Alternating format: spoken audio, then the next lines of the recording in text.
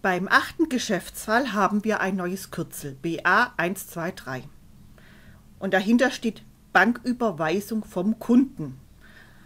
Folglich muss BA nichts anderes heißen als Bankauszug. 67.400, das dürfte wohl leicht zu machen sein. Die Buchung dazu ist ganz einfach. Bank, Anforderungen ALL und der einzige Betrag, der da steht. Wie bin ich da vorgegangen? Ich habe mich zuerst auf das gestürzt, was mir am leichtesten fällt.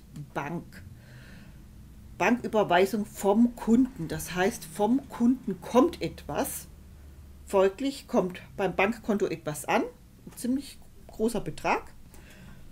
Folglich wird Bank im Soll angesprochen. Jetzt, woher weiß ich denn, dass auf die Habenseite Forderungen ALL gehört? Dazu muss ich ein bisschen nachdenken.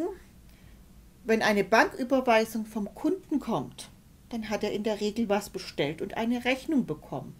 Und die habe ich irgendwann mal zuvor, und das ist jetzt nicht in dieser großen Aufgabe drin, aber trotzdem muss ich mir klar machen, irgendwann mal vorher habe ich eine Forderung im Soll angesprochen.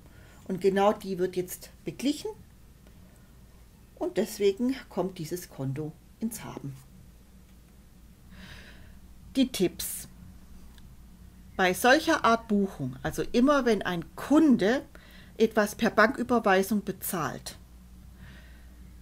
dann muss uns klar sein, dass da immer ein Geschäftsfall in Form eines Verkaufs auf Ziel vorausgegangen ist und dass dieser Zielverkauf entsprechend gebucht wurde in Form einer Forderung ALL, die im Soll angesprochen wurde. Und die wird weniger. Und dann natürlich die Kontenbank und Forderungen ALL, die solltet ihr mit Namen und Nummern auswendig können.